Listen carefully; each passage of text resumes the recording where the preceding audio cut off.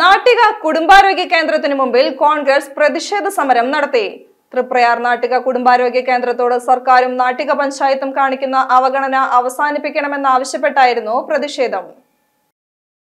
നാട്ടിക കുടുംബാരോഗ്യ കേന്ദ്രത്തിൽ കിടത്തി ചികിത്സ പുനരാരംഭിക്കുക മുഴുവൻ സമയം ഡോക്ടർമാരുടെ സേവനം ഉറപ്പുവരുത്തുക മരുന്നുകൾ ലഭ്യമാക്കുക കുടുംബാരോഗ്യ കേന്ദ്രത്തിനോടുള്ള സർക്കാരിന്റെയും നാട്ടിക ഗ്രാമപഞ്ചായത്തിന്റെയും അനാസ്ഥ അവസാനിപ്പിക്കുക എന്നീ മുദ്രാവാക്യങ്ങൾ ഉയർത്തിയായിരുന്നു കോൺഗ്രസ് നാട്ടിക മണ്ഡലം കമ്മിറ്റി നാട്ടിക കുടുംബാരോഗ്യ കേന്ദ്രത്തിന് മുന്നിൽ പ്രതിഷേധ സമരം നടത്തിയത്.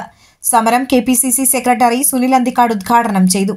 ആയിരക്കണക്കിന് പതിനായിരക്കണക്കിന് രൂപ ചെലവഴിക്കാനൊന്നുമില്ലാത്ത സാധാരണക്കാരായ ആളുകൾക്ക് ഒരു അഭയകേന്ദ്രമാണ് ഈ കുടുംബാരോഗ്യ കേന്ദ്രം.